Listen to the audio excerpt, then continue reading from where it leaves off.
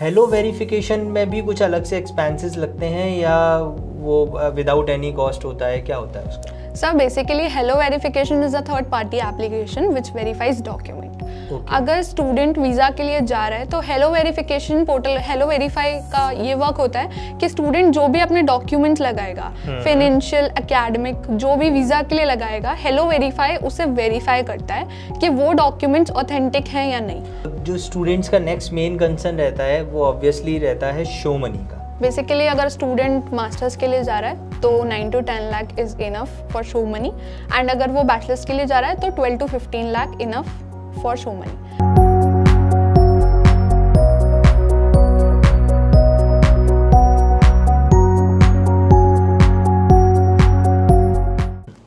hello verification में भी कुछ अलग से एक्सपेंसेस लगते हैं या वो विदाउट एनी कॉस्ट होता है? क्या होता है उसका? Basically, Hello Verification is a third party application which verifies document. Okay. अगर स्टूडेंट वीज़ा के लिए जा रहा है तो hello verification portal hello verify का ये वर्क होता है कि स्टूडेंट जो भी अपने डॉक्यूमेंट्स लगाएगा फाइनेंशियल एकेडमिक जो भी वीज़ा के लिए लगाएगा हेलो वेरीफाई उसे वेरीफाई करता है कि वो डॉक्यूमेंट्स ऑथेंटिक हैं या नहीं तो हेलो वेरिफिकेशन में can you tell me the list of documents which we need to submit at the time of hello verification application या श्योर से जब हम हेलो वेरिफिकेशन करते हैं तो first we need to register on the hello verify portal उसके बाद we need to upload the academics academics आपके लीगलाइज अपोस्टाइल डॉक्यूमेंट्स होने चाहिए। So in uh, student needs to upload 10th, 12th, graduation, all the certificates or recent pass out documents required? Basically student is going for masters तो उसको अपना bachelors का degree and bachelors का जो marksheet रहता है या फिर ट्रांसक्रिप्ट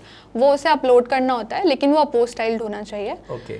सेकेंडली उसको अपने फाइनेंशियस जो भी वो आई टी आर यूज़ करने वाला है वीज़ा में या फिर फॉर्म 16 उसके पास है वो सारी चीज़ों से अपलोड करनी होती है। आई टी आर कितने ईयर का अपने को अपलोड करना होता है? बेसिकली हमें प्रीवियस थ्री ईयर्स का आई टी आर अपलोड करना होता है। ओके okay, तो वीज़ा के लिए भी थ्री इयर्स का ITR मैंडेटरी है? यस वीज़ा के लिए भी थ्री इयर्स का आई मैंडेटरी है एंड हेलो वेरिफिकेशन में स्टूडेंट जो भी डॉक्यूमेंट अपलोड करता है वही डॉक्यूमेंट उसको वीज़ा में ले जाने होते हैं। ओके okay, तो यहाँ पर लेट फ़र्स्ट कंप्लीट कि क्या क्या डॉक्यूमेंट्स रहते हैं? तो सर अगर मास्टर्स के लिए जा रहा है स्टूडेंट तो ऑब्वियसली उसके बैचलर्स का डिग्री एंड ट्रांसक्रिप्ट या फिर उसके सारे सेमेस्टर की मार्कशीट अपोस्टाइल उसके पास उसका पासपोर्ट उसके सीवी और जो भी उसने डॉक्यूमेंट्स एप्लीकेशन में यूज़ किए हैं वो सारे डॉक्यूमेंट उसके बाद जो वो फंड्स और फाइनेंसेस यूज़ करने वाला है वीज़ा में।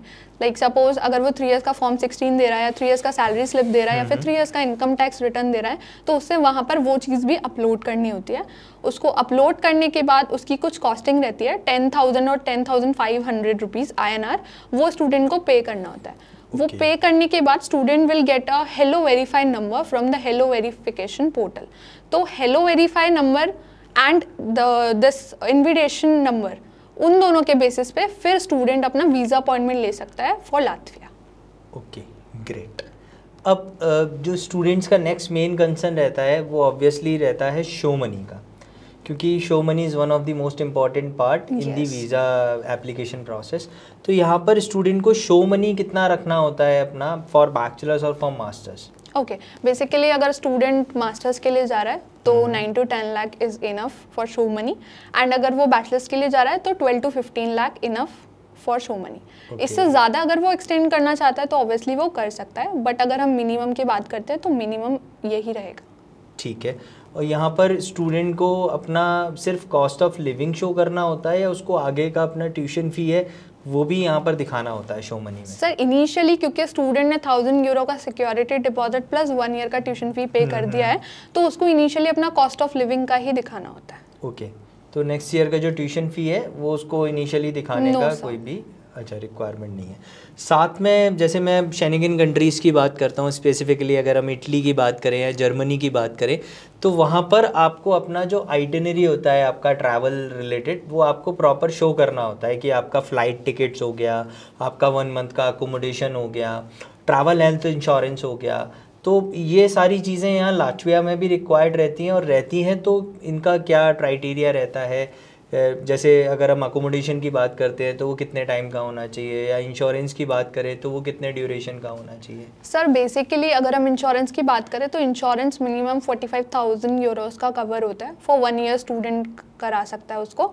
वैसे इनिशियली उसको जो मिनिमम कराना होता है वो सिक्स मंथ का कराना होता है। Okay. उसके बाद अगर हम फ़्लाइट टिकट्स की बात करें तो हम्म। यहाँ पर dummy flight tickets will work okay dummy flight ticket हम एज अ स्टूडेंट शो कर सकता है? यस स्टूडेंट वीज़ा में डमी फ़्लाइट टिकट शो कर सकता है। ये सबसे इंपॉर्टेंट चीज़ है क्योंकि मेनली देखा गया है कि यूरोपियन कंट्रीज़ की जब हम बात करते हैं जैसे जर्मनी की बात करते हैं या इटली की बात करते हैं या फिर बेल्जियम की बात करते हैं तो यहाँ पर they require confirm flight ticket क्योंकि यूजुअली डमी टिकट पे क्या रहता है? डमी टिकट पे एक पीएनआर पे मल्टीपल टिकट्स बुक हो सकते हैं तो इसीलिए वो वहाँ पर जेनुअन टिकट आपका book ticket flight ticket required रहता है। लेकिन लातविया में ये आपको एक लिवरेज मिल जाता है कि आप यहाँ पर अपना डमी टिकट भी यूज़ में ले सकते हैं। तो which is good thing really yes sir and dummy flight ticket उसके साथ अगर हम अकोमोडेशन की बात करें तो मिनिमम थर्टी डेज़ का अकोमोडेशन स्टूडेंट को वहाँ पे शो करना होता है। Okay okay. तो वो अकोमोडेशन का तो जैसे बुकिंग डॉट कॉम हो गया या पे एड प्रॉपर्टी काफ़ी सारी वेबसाइट्स हैं। यहाँ पर स्टूडेंट पे एड प्रॉपर्टी मोड में भी अपना अकोमोडेशन बुक कर सकता है। Yes, sir. तो that will work also yes sir that will work and also वहाँ पे हॉस्टल अपॉर्चुनिटीज़ रहती हैं कि अगर आप हॉस्टल अकोमोडेशन देख रहे हो तो आप वो भी बुक कर सकते हो। वहाँ पे लेकिन ये रहता है कि ज़्यादातर केसेस में ये देखा गया है कि अगर आप हॉस्टल अकोमोडेशन देख रहे हो तो हम्म। आपको जो एडवांस है वो पे करना होता है and if in worst case scenario अगर आपका वीज़ा रिजेक्ट हो जाता है तो वो अमाउंट जो है वो नॉन रिफंडेबल रहता है ओके okay.